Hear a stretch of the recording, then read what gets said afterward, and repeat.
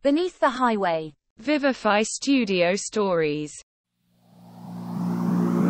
One, two, three, four.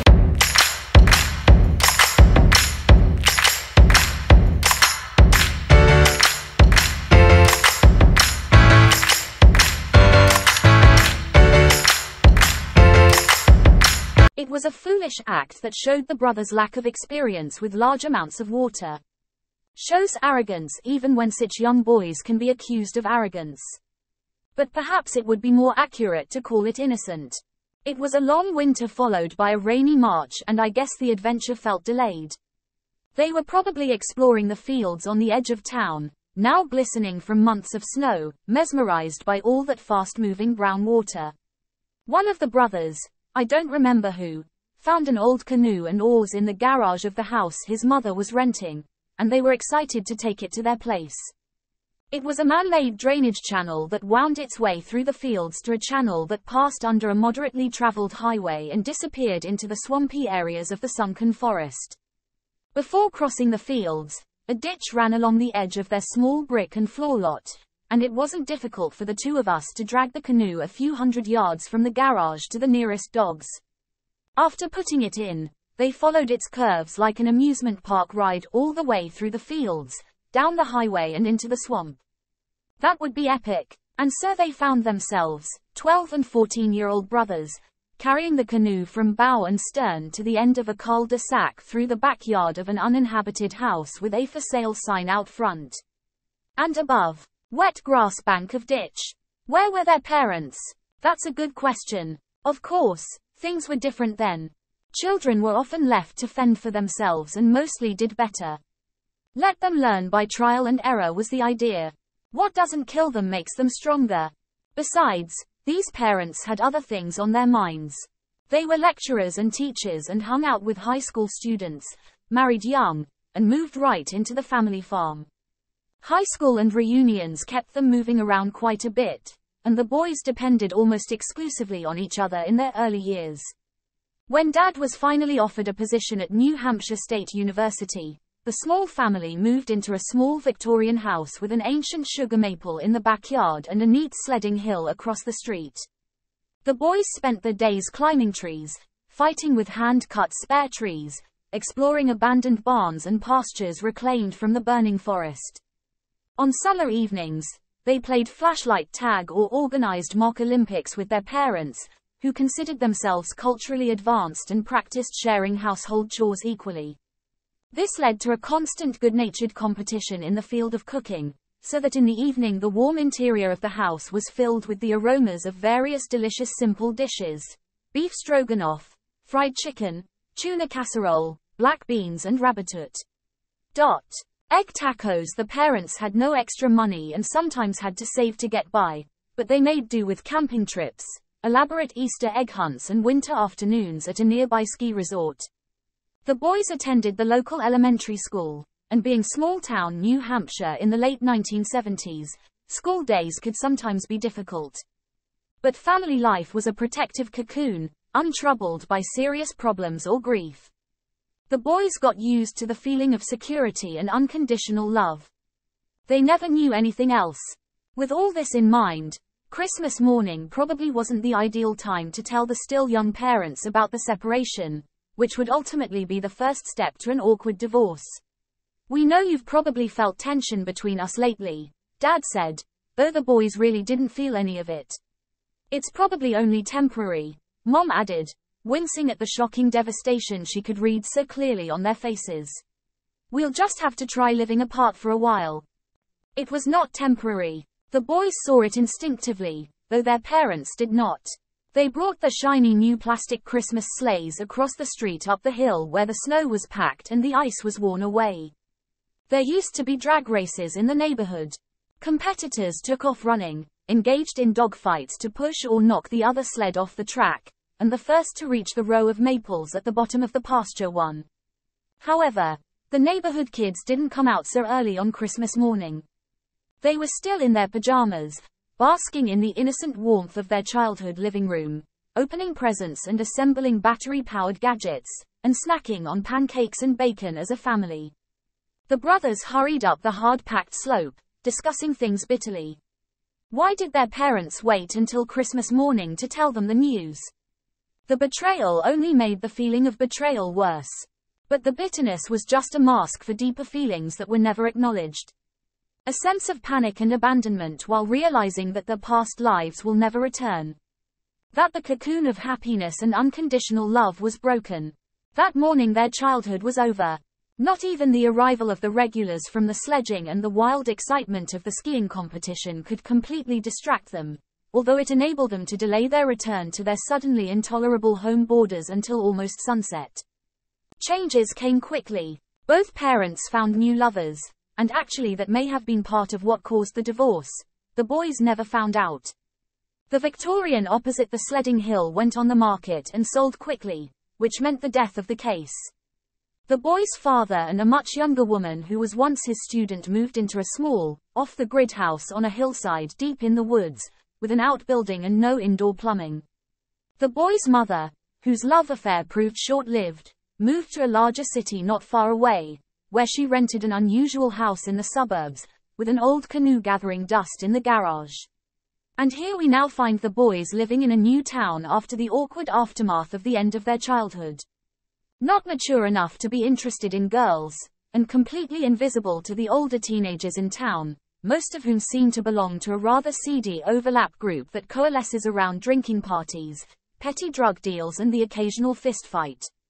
Sometimes the boys get bored enough to cause minor trouble, such as lighting open fires where they don't belong, or throwing snowballs at passing cars, including one police car that chases them for a while with its lights flashing before speeding away disappears in a cemetery surrounded by old oaks.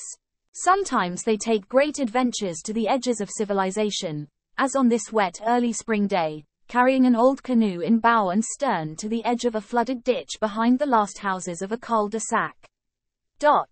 They drag the boat under the nose over the matted winter grass and emerge into a small eddy that gives entrance to the calm water next to the main current.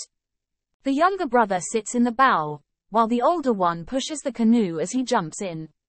They know how to do this because they have taken many canoe trips with their parents over the years.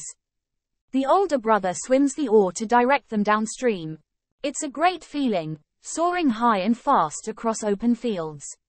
The canal winds down towards the highway with several long S curves. The boys ride the swift brown water in silence, giddy and excited, and the canoe keeps its course only occasionally with the eddies of the elder brother's paddle.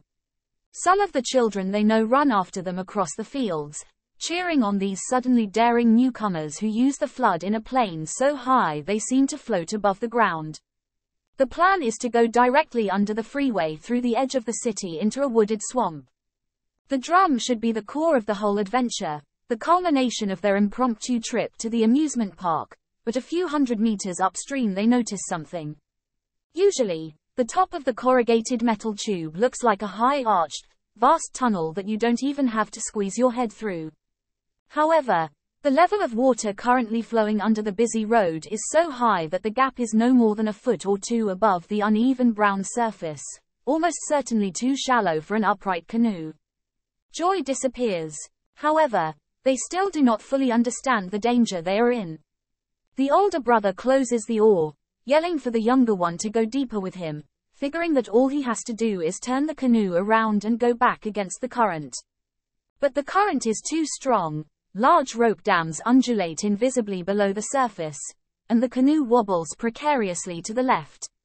The younger boy drops the oar and grabs the gunners with both hands, trying to steer the boat to starboard, but instead of finding its center, it veers even more sickly to the left, upstream, into the current. At the same time, a stream of cars zoom past unnoticed on the highway, out of sight.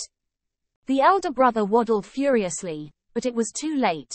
The left cannon dives below the surface and muddy water rushes in. If you slow down, the canoe will completely capsize. The older brother is a strong swimmer and reaches the shore above the drum, where he clings to the edge of a rusted grocery cart left at the foot of a tree. The younger brother does not reach the coast and arrives in the dark. The overturned canoe hits the corrugated archway several times before being followed inside.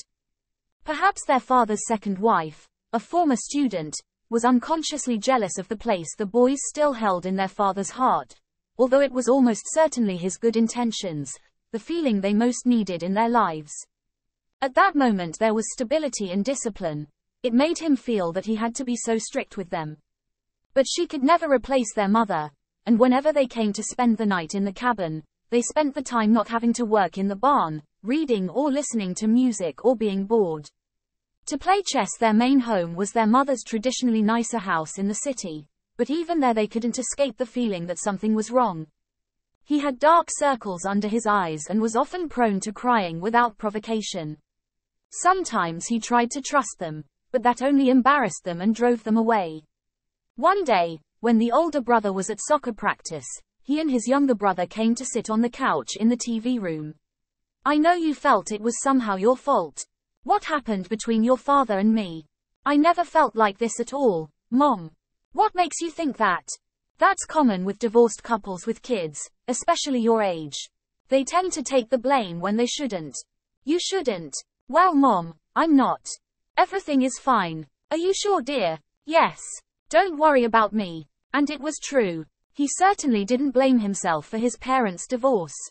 Rather, his problem was that he couldn't shake the premonition.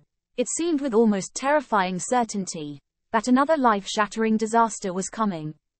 He jumped through the cold water, no idea up or down.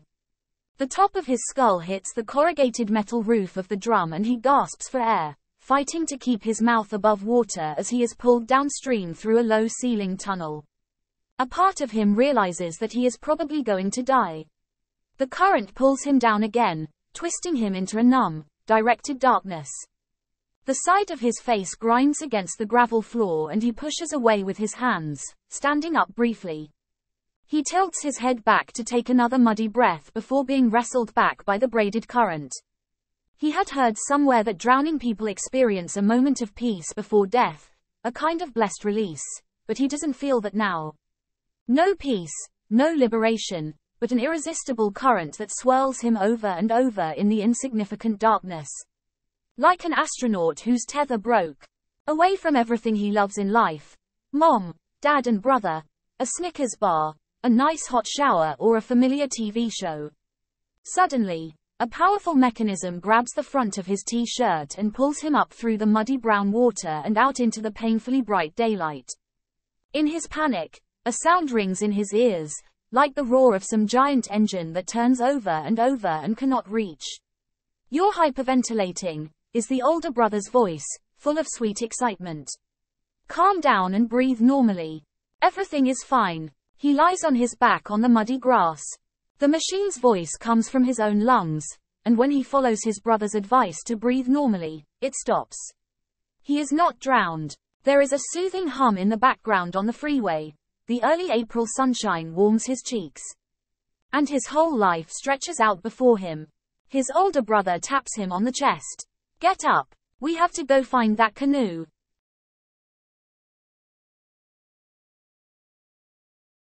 Hey there, beautiful bookworms. Don't forget to like and subscribe to our channel. Your likings helps this channel a lot. Have a great good night sleep.